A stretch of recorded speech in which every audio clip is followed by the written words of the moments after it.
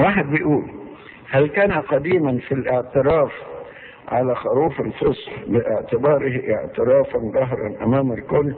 كان يوجد إرشاد وتحليل يأخذه المعترف.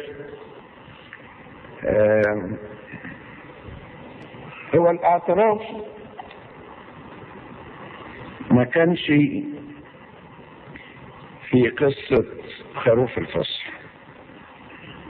لكن كان الذبائح التي تقدم كما ورد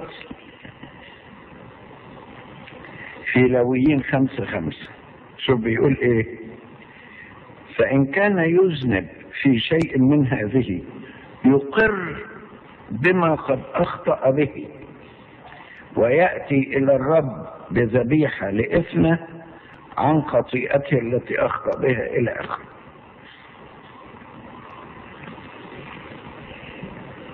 فكان بيحصل يجيب الذبيحة ويحط إيده على رأس الذبيحة ويقر بخطاياه على رأس الذبيحة فيبقى الذبيحة تحمل خطاياه فتسبح عنه وعن خطاياه أمام الكاهن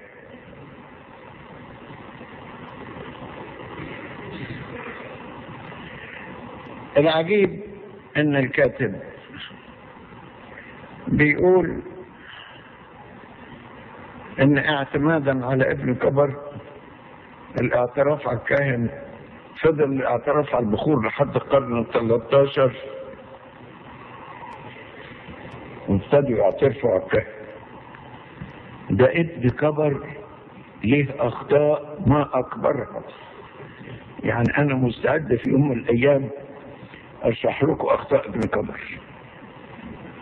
وبعدين هم بيتكلموا لا.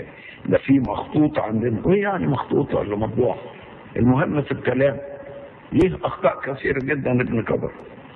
بس في أيامه يعني كان يقدم شيئا من النور في عصور مظلمه أما من جهة إن الاعتراف فضل على الشريه لحد القرن 13 فنجيب عليه في سفر الأعمال إصحاح 19 آية 18 وكان كثيرون من الذين آمنوا يأتون مقرين ومخبرين بأفعالهم. إذا كانت بإيه؟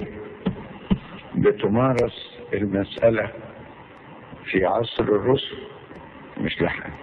ولا استنوا لما يشوفوا سوريا. لا. بل إنها كانت هذا الاعتراف كان موجودا أيضا في عصر ما بين العهدين. في أيام يوحنا المعمدان ويوحنا المعمدان بنقول الكاهن ابن الكاهن في متى ثلاثة؟ آية ستة آية خمسة وستة. حينئذ خرج إليه أورشليم وكل اليهودية وجميع القرى المحيطة بالأردن واعتمدوا منه في الأردن معترفين بخطاياهم. إذا كانت الحكاية موجودة من زمان. من أيام الذبائح كلاويين خمسة خمسة ومن أيام المعمدان في متى ثلاثة ستة وفي أيام الرسل في أعمال 19 18 كل ما تقروا الإنجيل وتتعمقوا فيه تجدون فيه إجابة على كل سؤالاتكم.